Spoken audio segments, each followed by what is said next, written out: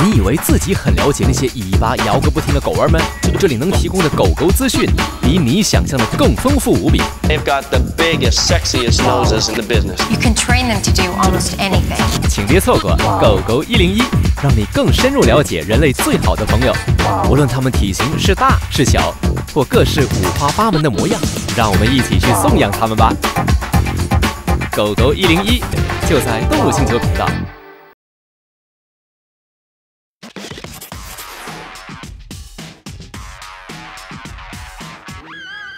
It's the bounding, burly, lovable Bernese Mountain Dog.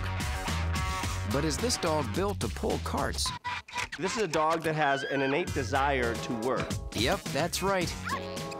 If you have farm chores, this is the dog for you.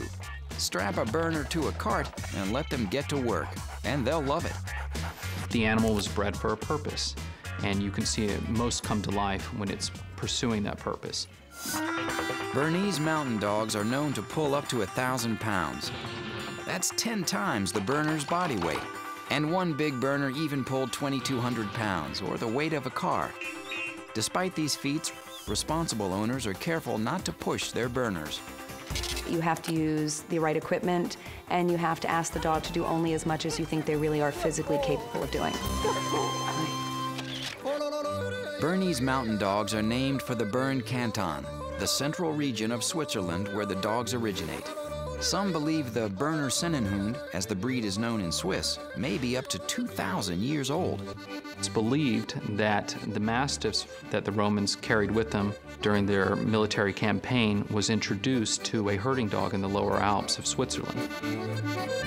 The resulting Bernese Mountain Dogs became indispensable to rural Swiss farm life as drafting dogs. Drafting is another name for pulling carts. And they were also bred, obviously, to be wonderful companions. At the beginning of the Industrial Revolution, new transportation methods began to replace drafting dogs. Due to lack of concentrated breeding, the Bernese nearly disappeared. Led by Professor Albert Heim, concerned Swiss breeders reestablished the lineage in the late 19th century. They're very affectionate, very loving, playful at times. They have a very subtle, loving expression due to their tricolor markings. Those distinctive black, white, and rust markings are shared among all of the greater Swiss mountain dogs. This group includes the Appenzeller Sennenhund, the Entlebucher Sennenhund, and the greater Swiss mountain dog. But the Berner is the only one with a long, silky coat. They were a dog that was bred to be able to withstand very cold temperatures. Berners are built for the mountains with thickly muscled, powerful legs. The Bernese Mountain Dog is a very strong dog. That muscle mass makes the Berner almost 30% heavier on average than the Labrador Retriever, even though Labs stand roughly as tall as the Berner. Like all big dogs, health problems abound. Bernese mountain dogs, sadly, do not generally live very long. Most that I've known live about eight years. Hip dysplasia, bloat, and various cancers are a problem in this breed. The Bernese can also suffer from a debilitating joint problem called osteochondritis. This genetic condition occurs in younger dogs when cartilage near a joint degenerates. The result can be pain, arthritis, or permanent lameness.